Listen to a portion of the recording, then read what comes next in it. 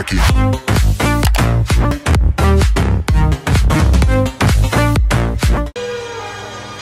Hello, darling. It's me, Elvira, Mistress of the Dark, the Vamp of Camp, bringing you the best of the worst. Or is it the worst of the best? Nah, let's face it, it's the worst of the worst in schlockumentary films. What is happening, guys, gals, and pals? Today, we've got a mail call, and oh my god, an anxiety inducing mail call. I've got a grail pop in for me, and whew, the mail was really late getting here by like two days. So, not many people know that I absolutely love Elvira. There were two things growing up in my house that you snuck up and stayed up late to watch. One was Elvira, and two was USA Up All Night. Yeah, I went there. So, needless to say, I've been a big fan of Elvira pretty much since I was a kid. It was one of my first forays into schlocky horror, which I still love to this day. There's nothing quite quite like a good Troma or what have you. So anyway, um, in the Zobi community, I had posted previously about this pop and how I would was looking for someone maybe as a possibility to pick up. And I was contacted by a member named Christina. And she had offered that she would be able to um, get me this pickup at cost, which was amazing. Amazing.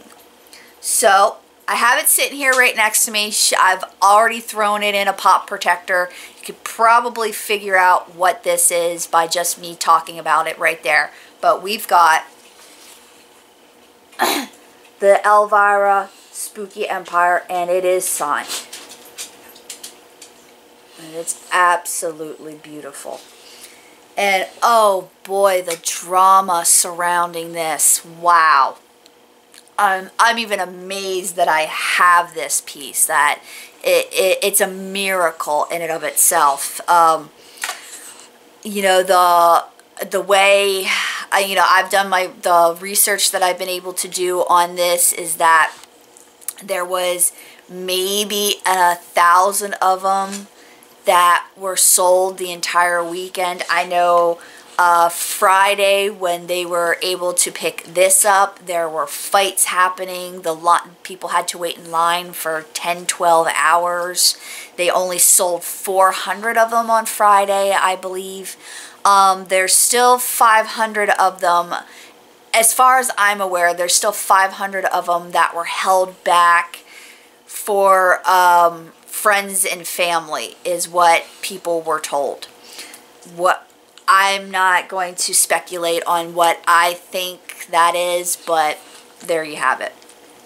So, um, this has shot up in price like you would not believe and I'll put a video here to show you um, some of the prices scrolling through eBay. Now these are sold prices so you're looking to get unsigned you're looking anywhere from unsigned you're looking to get at about maybe 250 to 350 maybe 400 um, it all depends on the seller.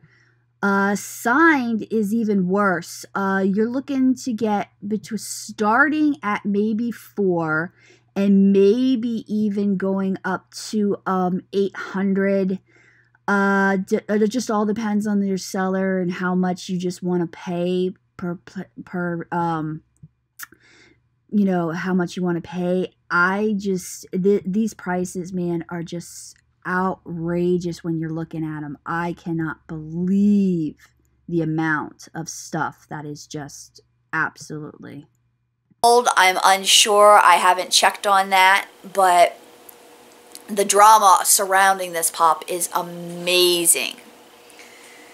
and I would really like to thank Christina for picking for giving me the opportunity to to get this um this is unless one of my children is dying this is never leaving my collection. This is something that is going to be coming with me through the ages. If you like this video give a thumbs up. Uh, hit subscribe.